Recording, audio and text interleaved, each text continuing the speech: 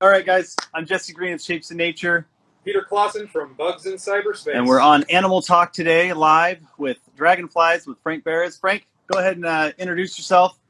Chat about what you do and why you love dragonflies Sure. so much. Sure. Yeah. I don't. That's a that's an easy topic to talk about. Uh, usually, don't people people uh, don't ask me to talk about it. Uh, I just start, and they usually just uh, have to listen. I work as an aquatic ecologist, and um, uh, a, big thing that I've studied um, in my past, in my career, and in my education was using uh, aquatic insects as indicators of water quality. So, some of you may be familiar with um, with this concept, but basically cleaner streams can hold certain insects while polluted streams will hold certain other insects. Uh, so when you look at the ratios of how they occur to each other, you can be you can get a lot about uh, the health of a stream. Um, so in doing so, I um, uh, I, I took a, a great uh, a great appreciation of of trying to catalog these things and identify them. Um, and one thing I noticed is that dragonflies are super easy to photograph and they're relatively easy to identify. And uh, they're flashy, they're big, and they're cool, um, and they're everywhere. So, uh, you know, after diving into it a little bit, I realized that, uh, you know, th- this is uh, kind of my favorite insect. Um, and on- once you get going, uh, it's really hard to stop. Uh, so, so I started to find um, uh, some rare species that live in our area. So now you become uh, playing real life Pokemon, uh, which is what entomology essentially is. It's why I never really played the game. You know what I mean? Because uh, you go out and you try to find the coolest ones, and um, uh, so yeah, it just basically went from there. So I, I've only been photographing them for maybe about a year. Oh, right on. Uh, okay. Yeah, and I started. Um, I really like uh, uh, using the app iNaturalist to catalog what I find. Oh, yeah. Um, there's a couple dragonfly specific ones like Odonata Central, uh, stuff like that. But using iNaturalist really got me into trying to get better and better pictures because some of the differences are so subtle in the identification that you can't always tell what it is from a picture. Uh, so, you know, going from there, it kind of turned into something that I, you know, can't stop doing. Amazing. You know, uh, I was going to mention uh, with about Pokemon is when I was a kid and people were introducing me to that video game, they were like, "Yeah, you you play this game where you like you you catch all these different animals and then you you can like raise them and all stuff." And I was like, "I already do this in real life. Like, why do I need to play a game?" you know, like what- I was like, Yeah. and I'm called a nerd. You know, like, you know. Be honest, Yeah. tell them what your Pokemon Go level is, Jesse. Oh yeah, oh, I'm at level 40 in Pokemon Go. Absolutely. I mean, you know, I got to go walk around the world and find them. That's that's Yeah, amazing. I though. replaced Um, Pokemon Go with dragonfly hunting. You know, I really So- wish they would make a game that would be like Bug Hunter that's Pokemon, but you find just real bugs. And. Yeah. it would be amazing, but uh, I don't know how popular it would be. Don't spread that around until you copyright it. right, right. Well, you know, um, uh, I guess you know, since we're kind of getting into dragonflies, uh, some people may not really know exactly what a dragonfly is. So, why don't you give us your best description of what a dragonfly is? Sure. Um, so dragonflies uh, arise from a very ancient, ancient lineage. Uh, uh, 325 million years ago or so uh, were, were the precursors to the dragonflies. So those those were the Protodonata, and um, something like 250, uh, 250 million years ago, the, the actual odonates started showing up, and the difference was they had this pterostigma in their wing. So that's the little dot that you see at the end of the wing of a lot of different dragonfly, well, all different dragonflies. Uh, and sometimes it's used as an identification cue. And um, so, I mean, I have some here. I, I, I really wanted to go out in the field and catch dragonflies and show them to you today, as I told you, Jesse, but It's a dream. uh, you know, we're in the fall. Uh, there, there's not that many left. So yeah, I mean, I gave it my best. I tried. Uh, I actually, I actually went out today and I had one right in front of me, but I would have had to held it for. I, I would have had to um, keep it in the cage for like three or four hours, and I was Oh, like, ah, yeah. I can't do that. These guys are at the end of the rope here. So yeah, I mean, uh, So once you started getting this pterostigma at the end of the wing, you start to have the actual odonates. And, um, you know, these are, uh, uh, the wings of an odonate are different from almost every other insect. Uh, they have this um, pro uh, Proopterygian uh, wing style. It's they're called the Paleoptera, and it's basically the muscles inside the body attached directly to the wing. So that means that uh, the only, and that's why uh, damselflies' wings fold up, and dragonflies' wings actually fold up too, but they have secondarily evolved to have them out flat. Um, and mayflies will also have their wings fold up. So these, this is like a primitive wing style, and that, but that means that every wing can move independently from each other. So if you look at um, a, a, um, a neopteran insect, which is really everything else, the muscles attached to the thorax, and that moves the wings. So th this is kind of an explanation of why dragonflies are so speedy, why they can move around so much, and uh, you know it makes them very unique out there when you look at them. Plus, I mean, they're every different color. They're gigantic. They're small. You know, there's all kinds of things. So, um, you know, that's that's pretty dragon, dragonfly history. The the abbreviated version. Right. Well, I was going to ask uh, about their life cycle. Sure. Uh, so dragonflies. Um, you guys, you had asked me uh, what, what what do you call the larva? Do you call it a larva, a nymph, or a or naiad? which I really thought is it's really an interesting question. Um, so dragonflies are all aquatic as larvae, or mostly aquatic. Some can survive in, in really damp soils. Uh, that's really an oddball thing. They're, they're usually in streams, um, ponds, lakes, really anywhere. Some of them, uh, rainpool gliders actually can be in temporary pool, like temporary puddles. They can grow and hatch out in the same year. Um, so they, they start off aquatic. That's where as the egg hatches aquatic, and then they can live there um, for a couple months in, in tropical regions up to years. They can be three years or more up in more temperate regions um, where they're an aquatic predator of uh, you know everything else that's in there from mosquito larvae to fish. Um, after uh, this is when they molt and this is when they grow. So they can molt, you know, 20 times into this. And the final molt, they crawl out of the water, come up uh, up to a stem, uh, stem of a plant. Um, each one has a little bit of a different strategy. But uh, that's when they kind of hatch out and they come out of their uh, larval case as the winged adult. Uh, they spend a little time as, as a teneral, which is, if you've ever seen a picture of a dragonfly and its wings are like super shiny, uh, they're not really transparent, they're more translucent that's one that just hatched out. And uh, it, it, takes um, sometimes up to a couple hours for the wings to harden, and they pump their hemolymph through the veins of the wings until they're actually able to fly and they're hardened. Then you have an adult dragonfly. And I mean, a lot of them only live for uh, a couple weeks. I think the longest recorded time is maybe two months for an adult to live. Um, wow. So yeah, they have a really interesting life cycle. Species? Is that a specific species? The longest living of two months is that like, or is that a specific species or a specific family of dragonflies that do that, or? Uh, I just came across that. I'm not quite sure which one. A, a, lot of the ones that, uh, when I go to try and find the, the more rare dragonflies, it's usually these ones that have a very narrow window. Um, and, and some, um, there's one I was just reading about today, and I can't remember the name of it for life of me, but it'll only you'll only find the adult being active for for maybe 30 or 45 minutes after sun sunrise and then maybe an hour before sunset when it's like the darkest amount yeah so there's a lot of stuff like that. I mean there's there's a there's a ton of them there's uh you know something like uh, uh 6000 species worldwide. Uh, in my area we have um 462 is the latest count so they have a uh, lot that's to North get America. done. I'm sorry, that's North America. What's that? They have a lot to get done in that short adult lifespan. What are their predators in nature, both as aquatic and then as adults?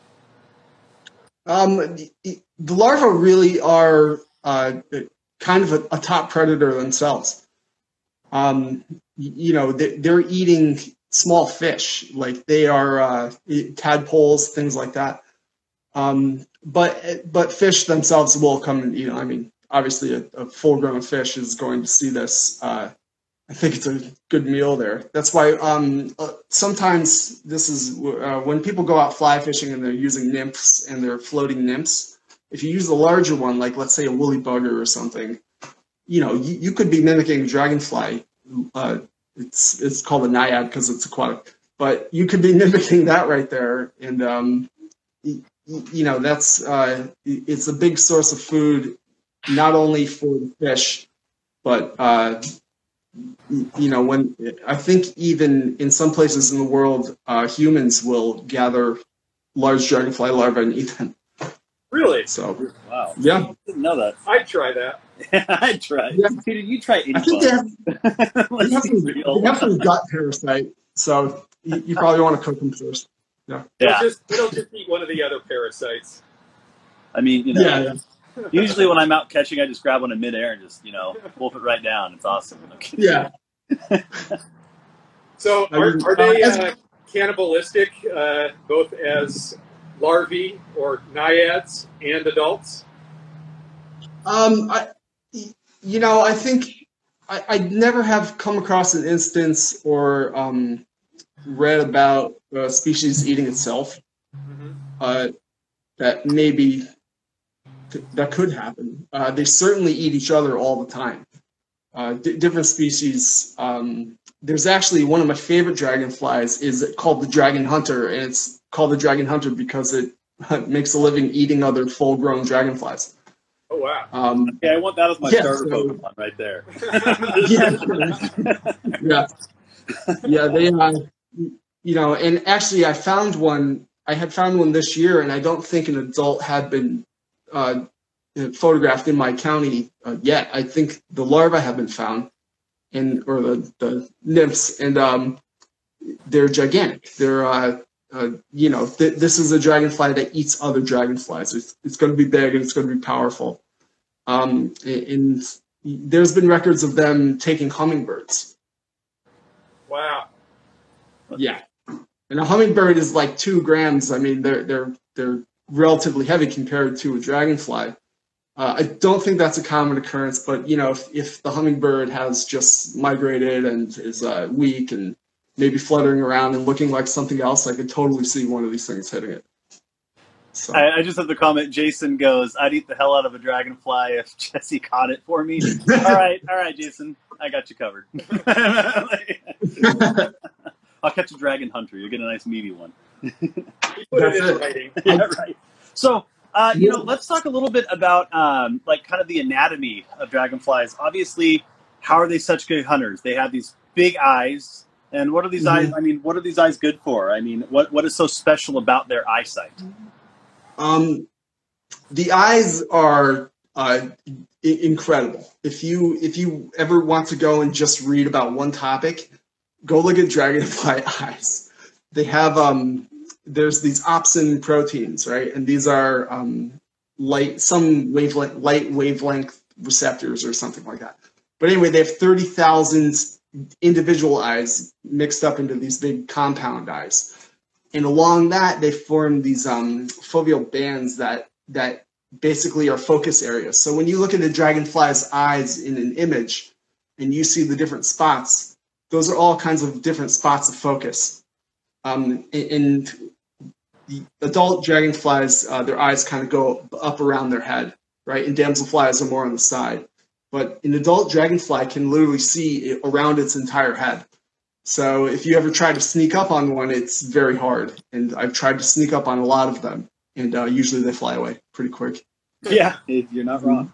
So, You and I mean, they're both like like we said earlier with the wing muscles and the way that they can perform such acrobatics with every wing moving independently. Um, y- you know, they, they uh, they're uh, like aerial acrobats essentially. Uh, here's um, something about their eyes I've always recognized. You know how they always flick their heads up and side to side? They kind of do that little like head Yeah. flick all the time. So is that Yep. for hunting? Is that so they can kind of gauge uh, their area that they're around? You know, they're always kind of set on a high point, looking around for other bugs. Is that what that's for? You know, I I'm not sure if that's it. It could be it. Um, but if you if you ever uh, next time you look at an image of a dragonfly, and I'm sure I have one or forty sitting around here somewhere, but there's kind of a line in, in the middle of their eyes, and it looks like one area will be one color and one area will be another. That's because they have different receptors, and they are they're receptive to different wavelengths of light, whether it's UV or short wavelength or whatnot. So the, the sky to a dragonfly appears very, very bright. And that is very helpful when a tiny mosquito comes flying by. They can, they can pick that out very easily. So I don't think they would even need to necessarily look around because kind of their eyes are already doing it for them without even moving. Right, right. Um, you know, another thing about dragonflies that I've always noticed is, you know, most predators or prey uh, especially in the insect world, they rely so much on camouflage. But yeah. dragonflies don't. You know, they're flashy. Males, especially male. Some, you know, dragonflies have those iridescent wings that are red or green or all kinds of stuff. Yeah. And and yeah. obviously that's a lot of it's for territorial reasons and whatnot. But why don't? I mean, it's just they just overpower the prey that easily, or or I mean, are they just not worried about predators? Like, why do they not rely on any kind of camouflage or anything? Like that? I mean, it's a, it's a good, it's an interesting question because um, actually, Peter, you had asked before about adults being prey as as um, as adults, and um, there's been instances where things like green darners that are migrating are are closely followed by like a nighthawk migration because they are hunting the darners. Um, you have to keep in mind how fast and how agile they are in the air, so they're not super easy to catch and combine that with the eyesight, and then uh, you know I I've tried to catch them with nets before, and occasionally I'm successful, and sometimes most of the time they see me and get out of the way. Um, but the uh, when a dragonfly is most vulnerable is when it's perched. So uh, early in the morning, um, I'll go out and I'll go looking for darners. And uh, a lot of times their colors aren't quite as vibrant. They haven't heated up yet uh, they do tend to blend in a little more when they're at the most vulnerable. So it, it's kind of an interesting uh, thing there. I noticed that uh, the males and the females are often differently colored. Uh, let's talk yep. a little bit about uh, reproduction and um, tandems. We, we often see two dragonflies connected together, flying right. together with, I think, the male holding the female, some part of her body, often behind her head. Right, all kinds of stuff.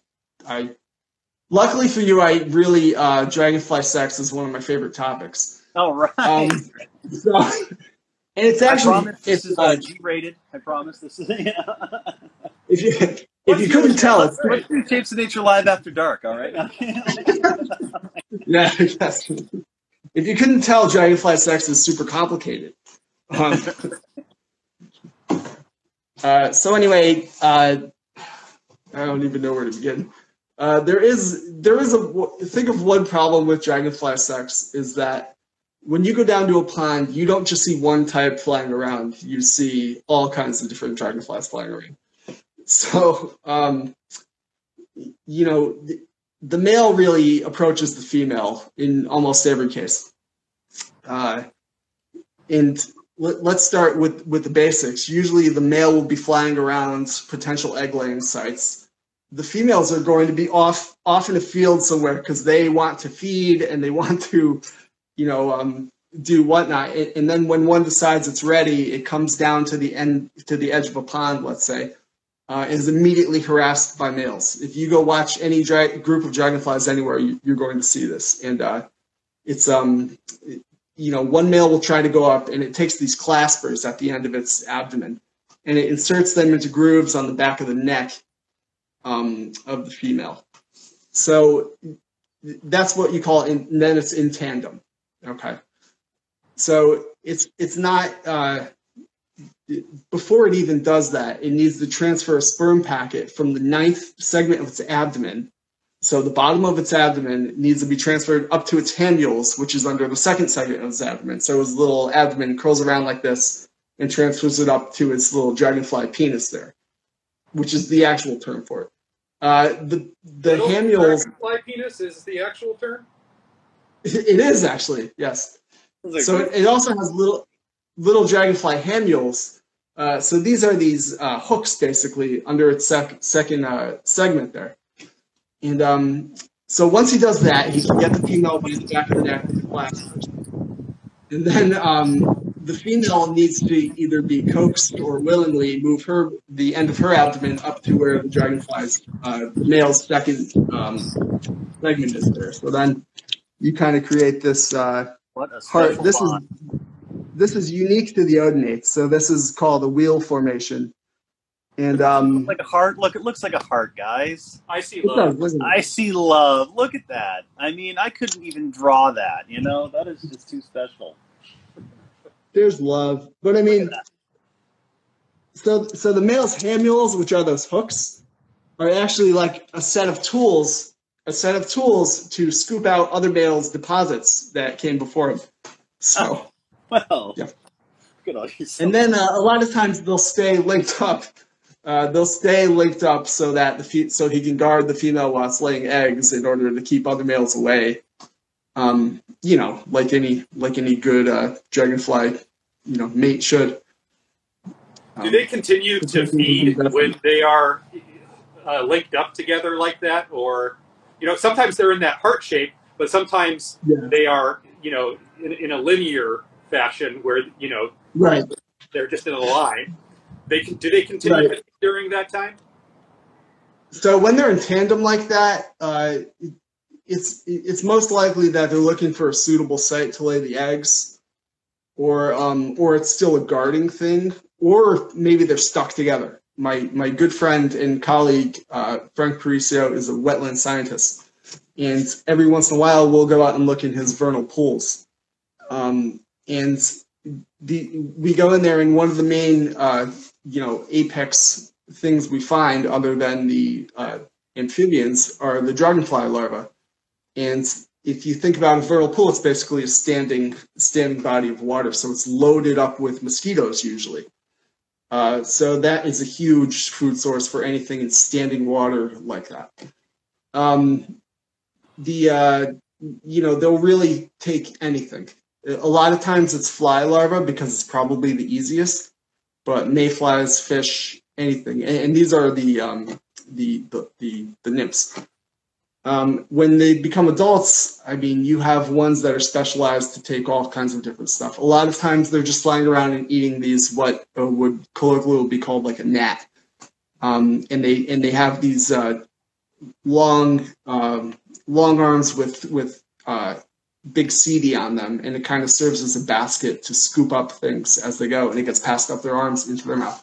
And they usually don't even stop flying, and the the only thing they leave is the wings that kind of fall. They off. eat a lot of Uh, mosquitoes, don't they? I mean, They eat a I, lot. I think I read Yeah. that they can eat up to hundred mosquitoes Around that, a day.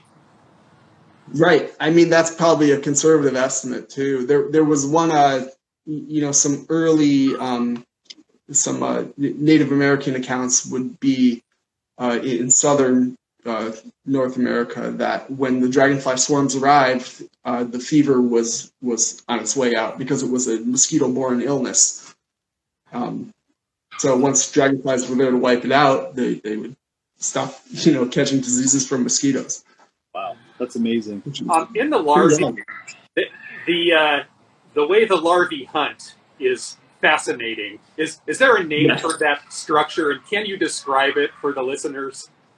Absolutely.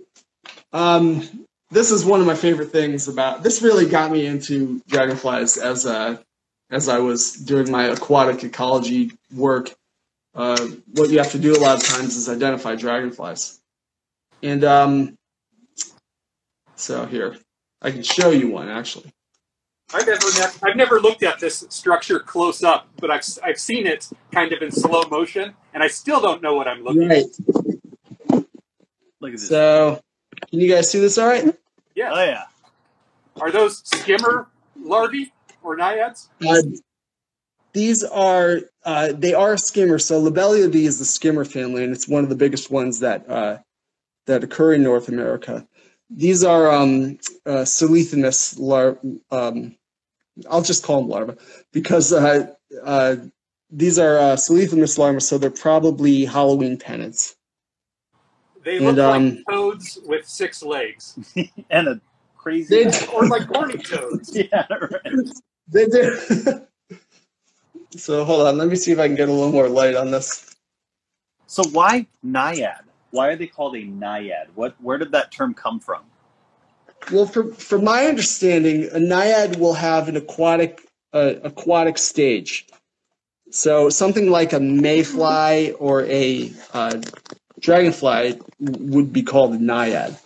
I, I, I think it's a, uh Greek term, and it referred to nymphs or young Right. maidens, Basic. you know, in mythology. Actually, Naiad was Yeah. a lesser known god. He was uh, Zeus's like second cousin removed kind of thing. You know, he didn't really make it on the roster very well. You know, like, Right. He was too busy doing wheel formations. he was too busy connecting with his girlfriend. uh, you know? Yeah. So a naiad would be like an aquatic larva and a terrestrial adult. Okay. Um, if you if you want to say nymph, that would be something where the juveniles and the adults are very similar. So maybe um, think of like a stink bug or a hemipteran. Okay, that's fair. That's fair. You getting that mouth part? All right. Yeah, these are these are a little old, so you, you can see already that this here forms. Uh, let me move it down. This here, uh, this is called the the labrum, right? So this, uh, I'm sorry, the labrum and the mandible are on top, and maxilla. So those are the chewing parts. This bottom part is called the labium, and you call this the labial mask. Look at that thing. And you can see you can see that it's uh it's kind of scoop shaped here. So you have the um, the postmentum and the prementum, which is this arm. Uh, the dragonfly uses the the nymph will use uh, kind of hemostatic pressure and, and and muscles in its abdomen will force blood up to the front, and that causes this to shoot out and grab its prey. That's And when it grabs it, uh, there's two um, kind of little hooks uh, appendages on here, and they uh, also shoot open and they open up like this, and then they come back. When when the thing recoils, it closes in on them, and it brings the prey up to the chewing mouth part, which which is up here. I always think Um, of the movie Alien. And Absolutely. How, how that, I mean, do you think Absolutely, of that too? one hundred percent, of course. Were you That's probably of what they that? based Yeah. off. of. You would uh, you'd give Sigourney Weaver flashback showing her that. So, uh, you know, okay, so we're kind of pressed on a little bit of time here. I do want to get into Yeah, sure. Q&A, and we're going to do a trivia again, guys. So we'll, we'll get into that in a minute. So hang out. But one last question I wanted to kind of bring up is: you have really been heavily taking photos of them. You said in this past year. Uh, are you? What are you wanting to do with these photos? What are your future plans? Are you wanting to take that kind of to a more professional level, or kind of keep that as a hobby? Um, you know, it, it has so much overlap with what I do professionally that th- there's no way that I'll ever probably stop. But I have such an abundance of photos from this year that uh, I could probably stop for this year. Um, you know, we uh, we we try to do uh, a couple different projects. I have I mentioned earlier my uh, one of my colleagues who's also named Frank. Uh, he's probably on here we uh, we are thinking of starting a podcast uh, ourselves. Uh, we're going to call it Franks in the Field because we're out all the time doing these uh, ecology work.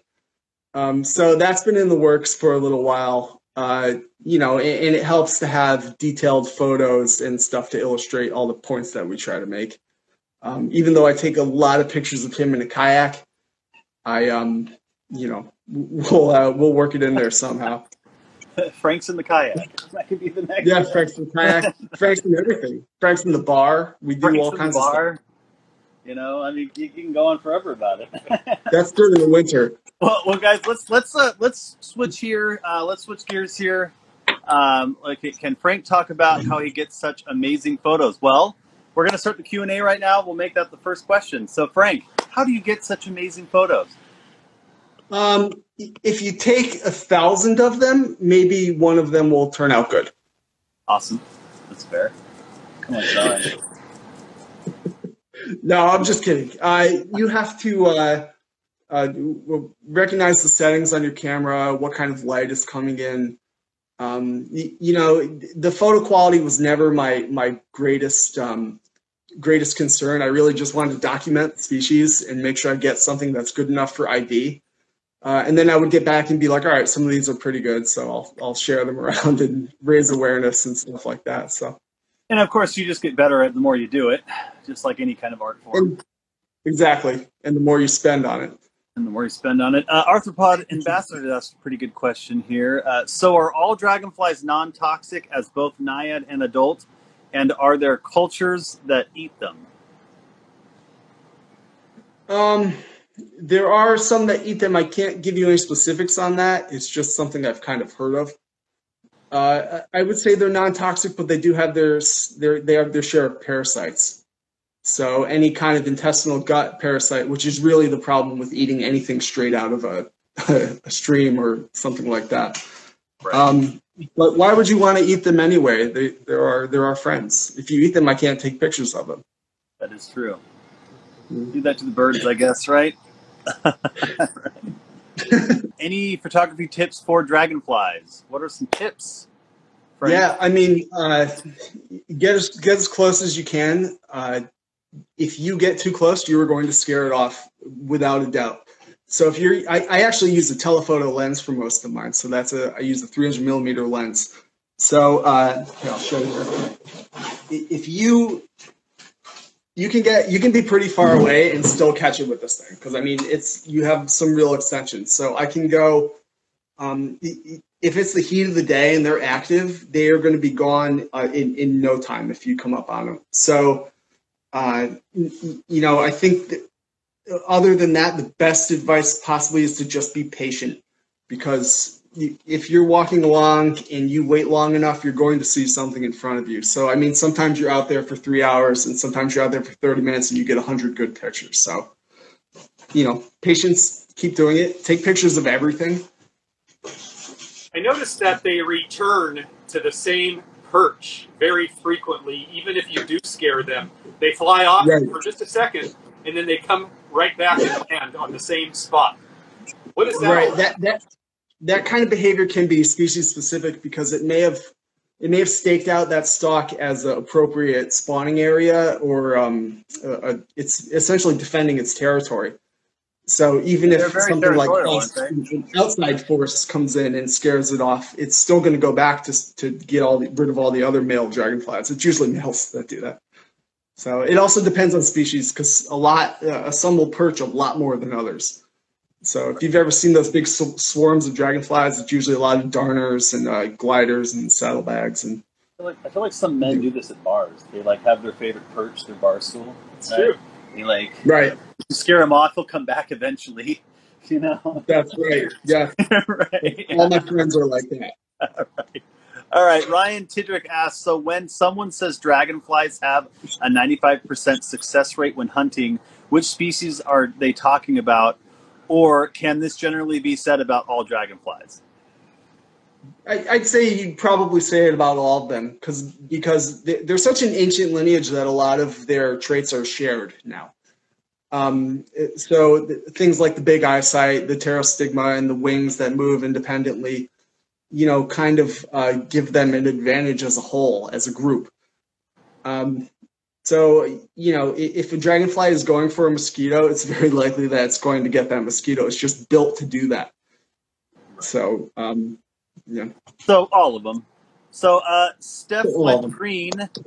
Uh, good, good job, by the way, Steph, by going green. Uh, she asked how fast, uh, how fast they move uh, due to pressure, and can you expand? Uh, dude, pressure. Do, do you mean the um when they're in the water? You know, I'm not sure. Maybe. You know, in the, in the water, I mean, I'm sure we've all uh, we've seen that video where they shoot the water out of their butts and they fly forward, which is really uh, really great video. Uh, that's all like muscle things. So so, uh, dragonfly uh, larvae in the water uh, are really kind of burrowers and sit and wait and ambush kind of stealth predators. Um, in the air, I mean, I, I I don't think I've ever looked up quite how fast they can fly, but uh, it's very fast when you're trying to take a picture of it flying. I can tell you that much. They can go from zero to sixty very quickly, unlike a lot of insects that kind of need to warm up to right, get up. kind of warm. Yeah, like a beetle's. Uh, think of a beetle's elytra opens up, and then its wings go, and then it kind of, Yep. you know, a dragonfly will just be perched, and then it will just be off at top speed in no time. Uh, Spaghetti Bro asks, how long do dragonfly eggs incubate generally? How do dragonflies fare over winter? Spaghetti Bro, that is such a great question. It's almost like you know someone who likes dragonflies a lot.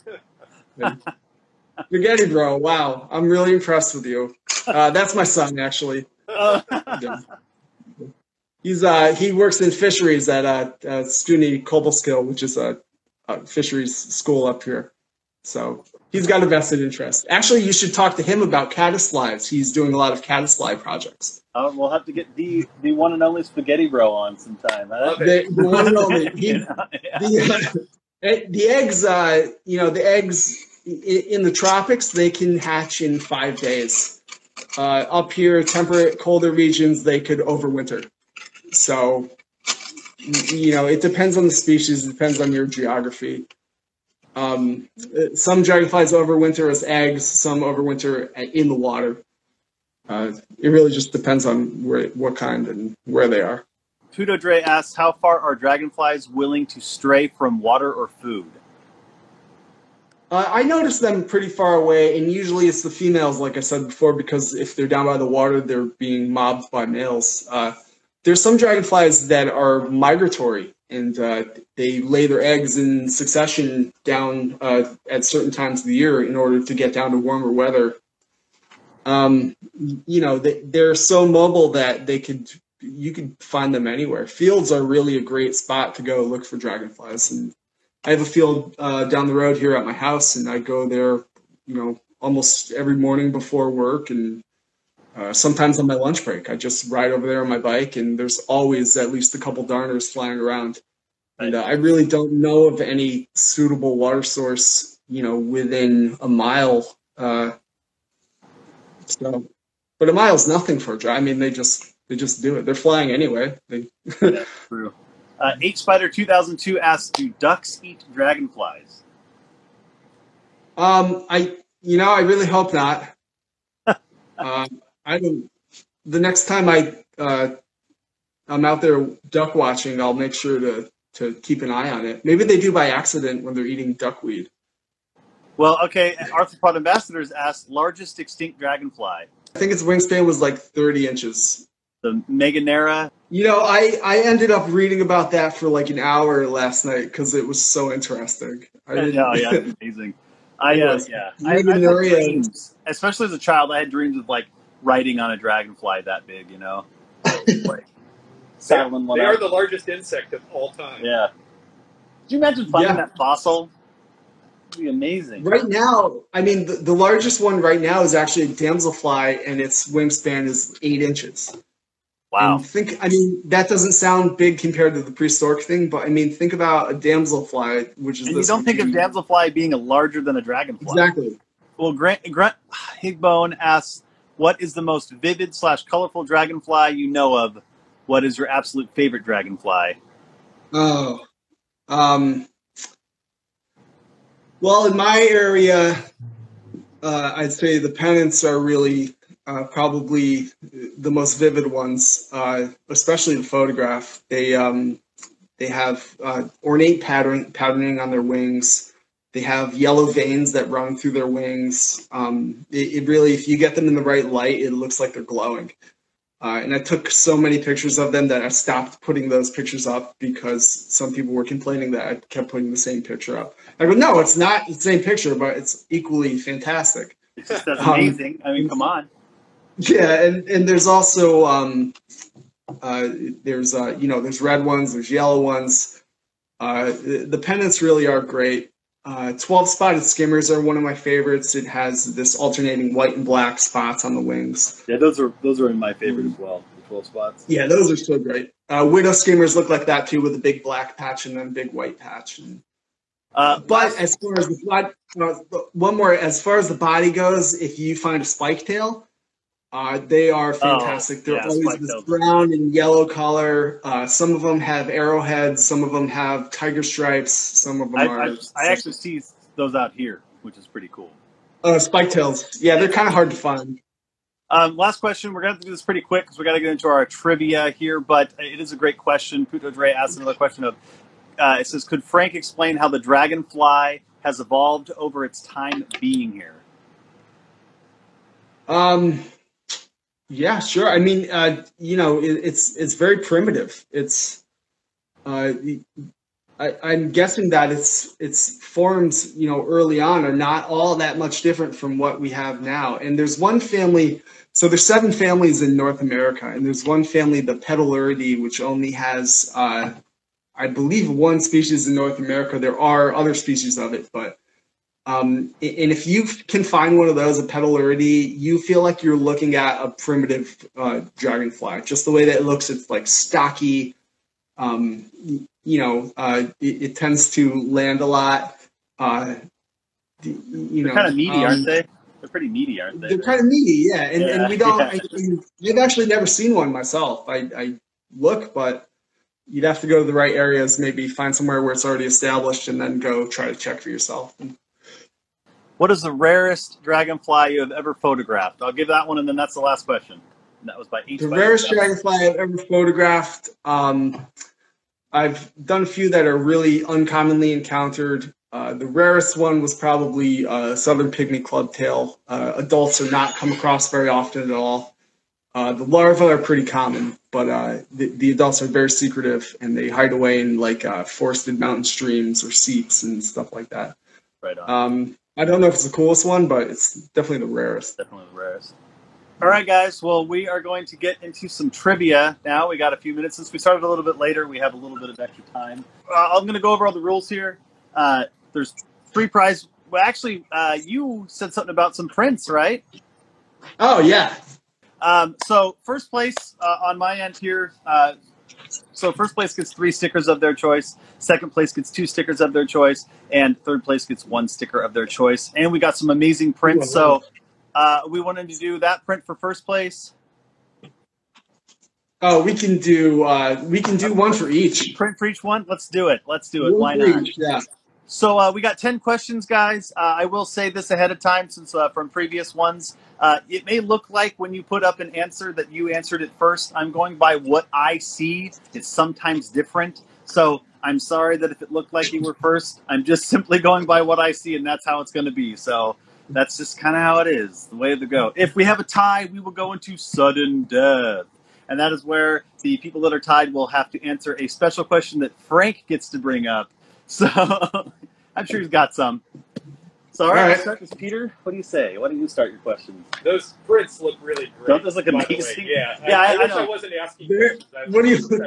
We got. I mean, these are actually from last year. I I think that the ones that I'm going to do this year are going to be much better.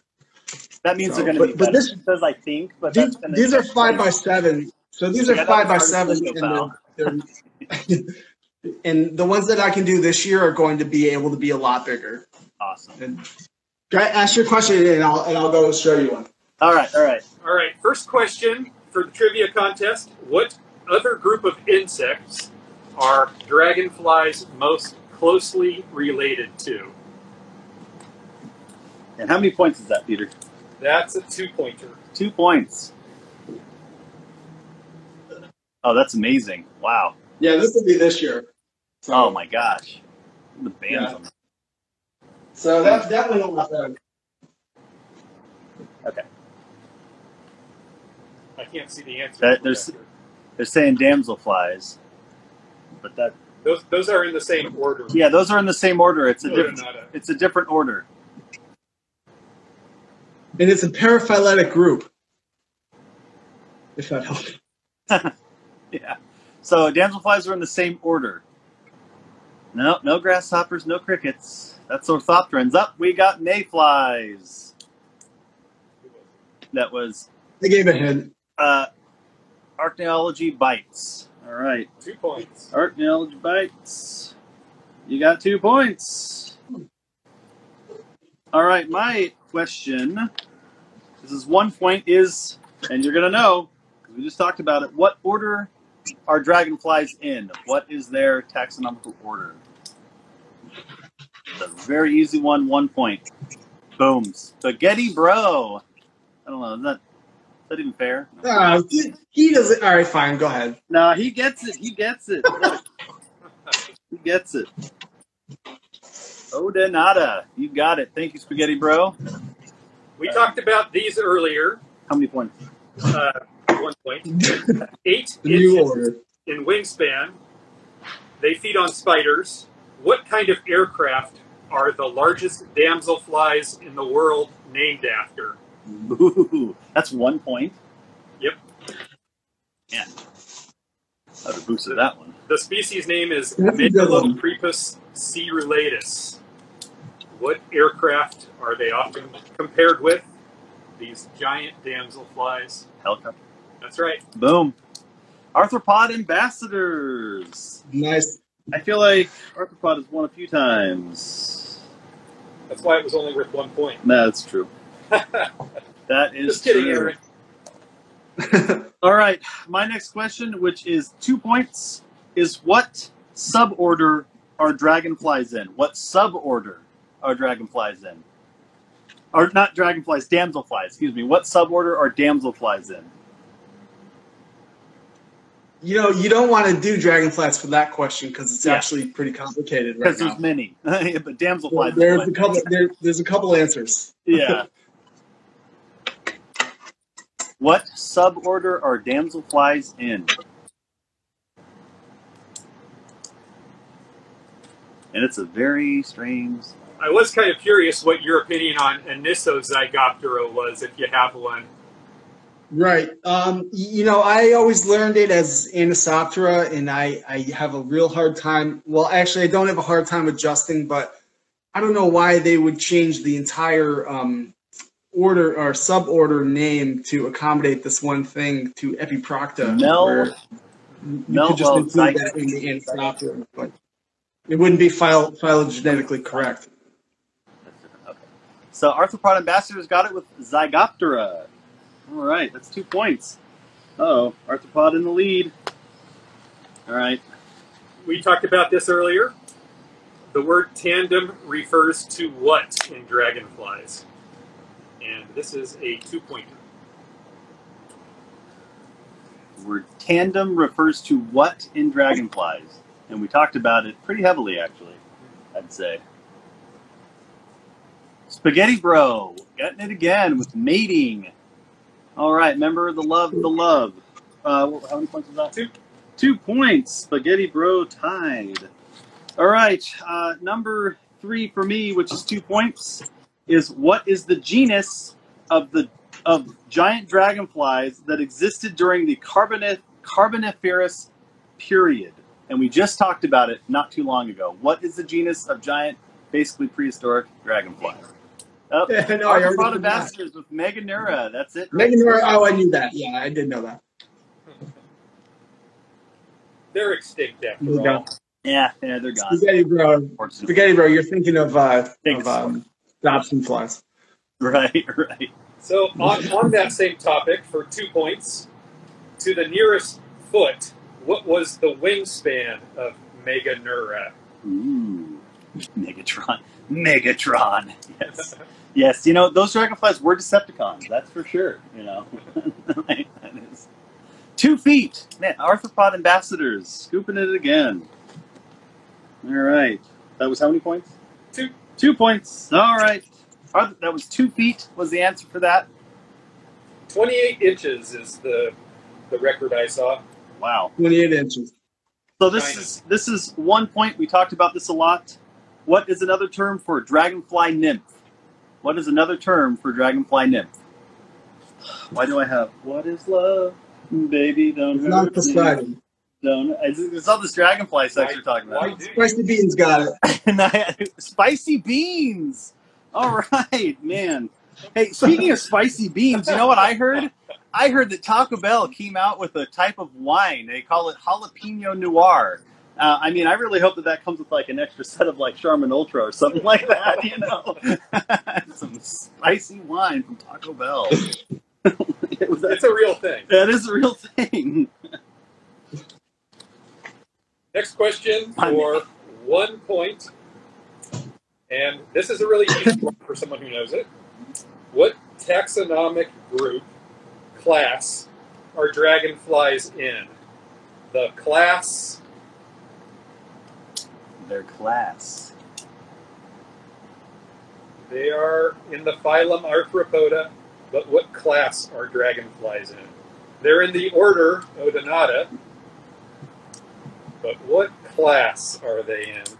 They're definitely the elite class, the one percent range. They're the bankers. Insecta. Boom.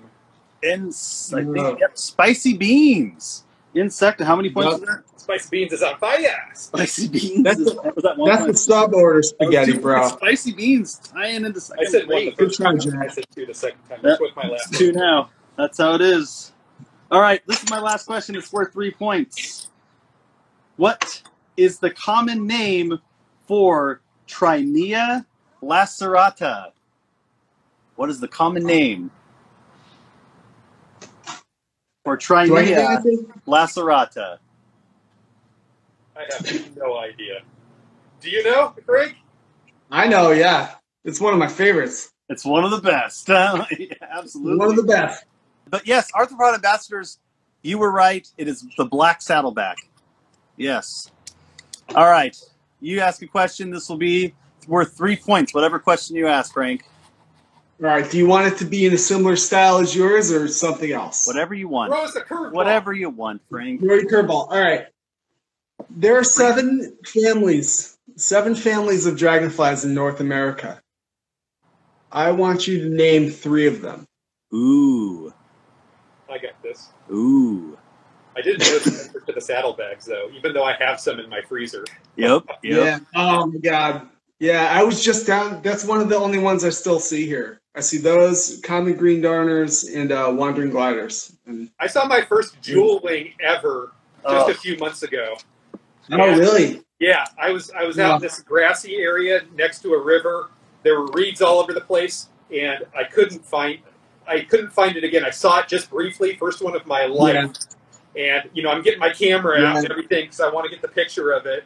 And it flew away. I looked for it for ten minutes because I knew it was right there somewhere. Could not find it. Yeah, I couldn't believe it. Right. I think the craziest thing that I ever witnessed, one of the coolest things, uh, was when I saw my first ruby spot One of my damselfly. favorites. Oh my gosh, ruby spot damselflies are nuts. Oh. I love- oh, I wish we had those near me. yes. Tim, you know what? You know what? You you don't even have to give me the um, Latin name. You can just give the uh, the common name because each one has a common grouping name. Yeah, just the family. Are the common names different in the UK, for example? Oh, come than on, Spicy here Beans. In the US? Oh, they are. They they um the Esh. Uh, I don't want to say it because that's giving away one of the answers. But uh, they call them hawkers over there. I Uh-huh. will not accept hawkers. Here hawkers. we go. Uh, Oh, Ashley. all right, that's good. Mad Animal Lover got it. Oh, my Madi, all right. The man got hitting them. All right. Yeah, good. Aeshnid, which are called darners here and hawkers in the UK. All right. Well, that was the last question, coattails. but but we have a three-way tie. So, Arthropod Ambassador Aaron, I guess I'm sending you more stickers again. I feel like I better get used to that. Um, Did she get you first are place? our first place. Aaron is first place again. So, but we have a three-way tie for second, and also making it third place. So Spaghetti Bro, Spicy Beans, and Madi, the animal lover. You guys can answer this question. Frank, ask another question. This will be I'm for so second place. you. I'm so proud of you, Spaghetti Bro. Um, all right, my question is all right. Closest without going over.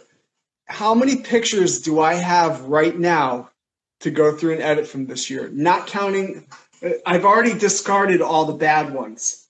How many do I have ready on my computer to edit this year? We're gonna we're gonna prices right this, right? We'll we'll we'll let them three Yeah. answer what they think, and then whoever has the closest gets it. All right, Spicy Right. Beans at two fifty. So who got who's the closest?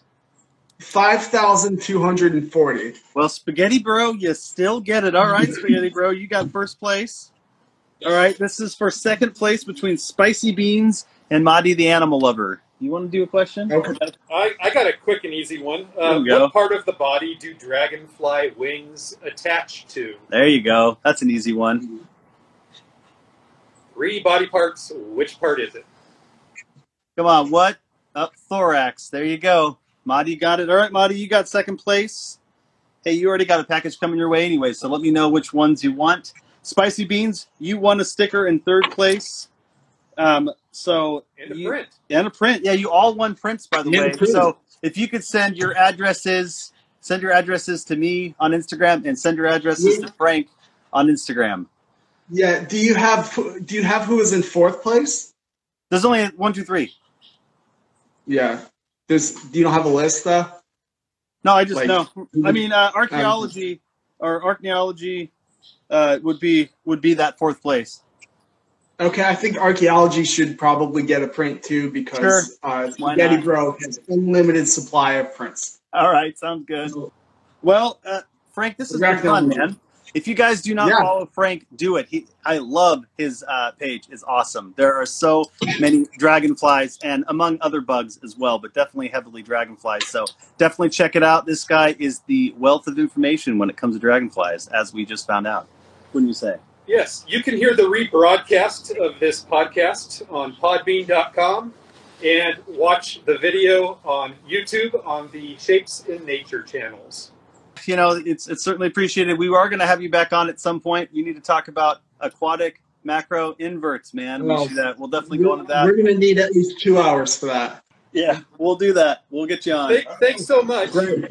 and we'll talk to you again soon. All right. Thanks a lot, guys. Hey, you guys have a good one.